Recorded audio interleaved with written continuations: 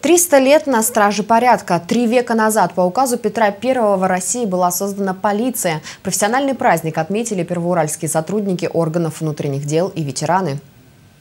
Знаком почета за службу в милиции награждаются Полковник юстиции в отставке Королев Владимир Викторович.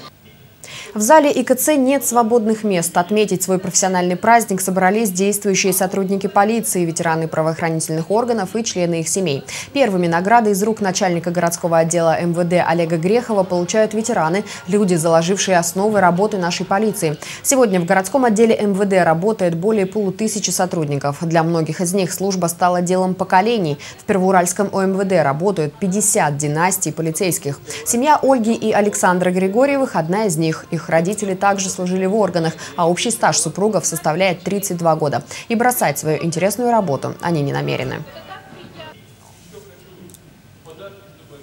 Ну, в первую очередь общение с гражданами нашего города, не только нашего города, да, потому что приходится сталкиваться с людьми и приезжими, и местными, и, так скажем, даже бывают люди, которые приезжают из-за границы.